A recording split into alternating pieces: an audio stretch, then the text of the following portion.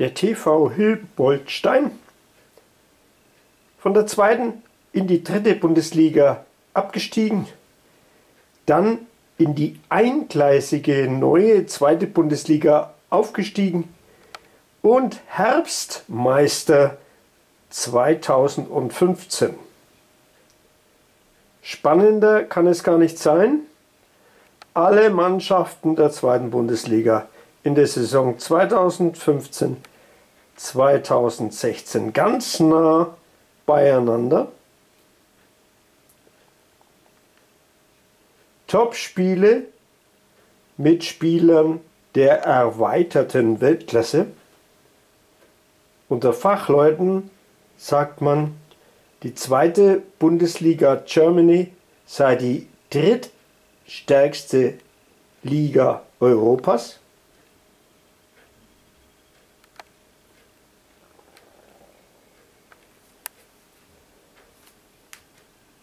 Auch das war ein Krimi ohnegleichen. Von Anfang an hatten immer die Passauer leicht die Nase vorn. Mit dem zweiten Einzel von Alexander Fleming, der schon auf der Verliererstraße war, dann das Spiel drehte, kippte auch das ganze Match und endete nicht wie die Passauer hofften zu ihren Gunsten, und nicht, womit sich viele Hilboldsteiner schon zufrieden gegeben hätten mit einem Unentschieden, sondern durch einen sensationellen Endspurt von Dr. Nico Christ dann auch noch mit einem 6 zu 4 für die Hilboldsteiner.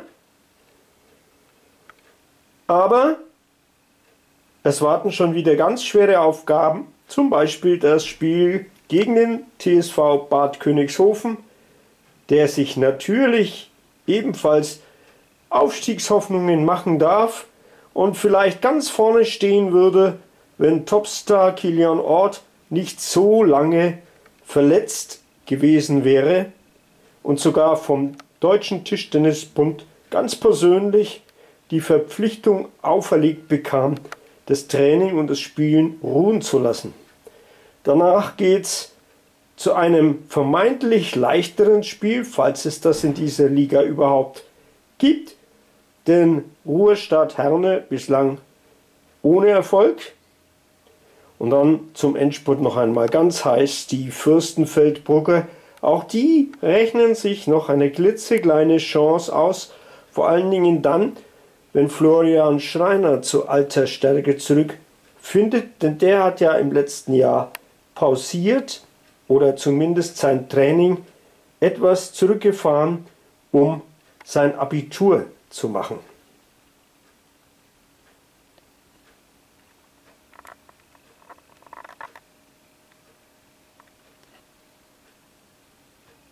Man sieht sich also am 24.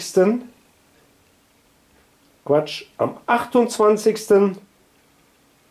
Sonntag, 28. Februar um 14 Uhr in der Stadthalle in Hilpoltstein.